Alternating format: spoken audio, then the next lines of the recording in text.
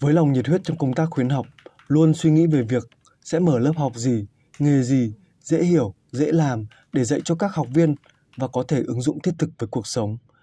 Bà Nguyễn Thị Nhung, Chủ tịch Hội khuyến học phường Hạ Đình, Thanh Xuân, Hà Nội đã mầy mò tìm tòi, tự học hỏi các nghề liên quan đến sản phẩm tái chế từ rác thải nhựa.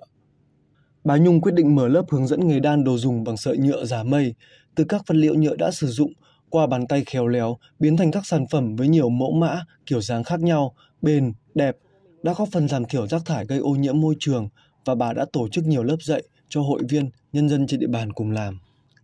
Với vai trò Chủ tịch Hội khuyến học, bà Nhung còn tổ chức hội nghị tuyên truyền, vận dụng công tác dân vận khéo, nhờ đó mà lớp học đầu tiên được khai mạc với trên 30 hội viên tham gia.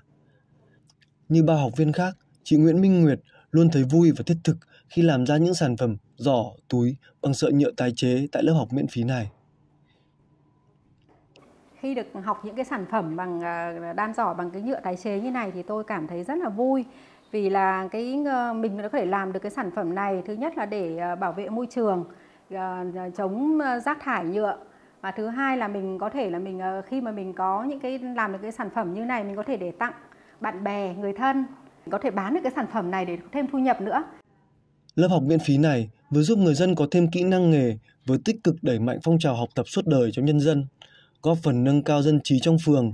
Bà Nhung nhận được nhiều giấy khen, bằng khen của cấp ủy, chính quyền, các tổ chức chính trị xã hội, hội khuyến học từ cấp quận đến trung ương về những đóng góp tích cực của mình. Là trong cái quá trình mà mở các lớp thì thấy rằng là Ờ, đây là ý tưởng, một cái sáng kiến rất hay của đồng chí Nhung, chủ tịch hội khuyến học. Ừ, theo thế giới cũng như là trong nước đang giả soát thống kê là cái rác thải nhựa nguy hại mà vứt bỏ ra cái ngoài xã hội nó rất là nguy hiểm.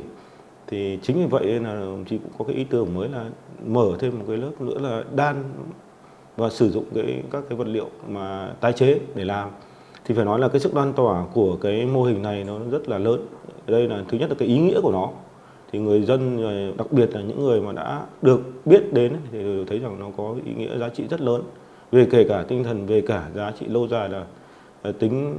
về sức khỏe cho người dân cũng như là giá trị sử dụng. Cái thứ hai nữa là mở ra một lớp học miễn phí để tạo cho mỗi người, cái quan trọng đây là mỗi người là có một cái kỹ năng. Có nghĩa biết tự làm, biết tự làm thì từ đấy thì à, mọi người có thể tự thấy là những cái vật dụng gì trong gia đình có thể làm được. Đấy là cái cái cái ý tưởng ban đầu nhưng mà từ cái lúc mà mở ra giờ thì chúng tôi thấy rằng là cái mô hình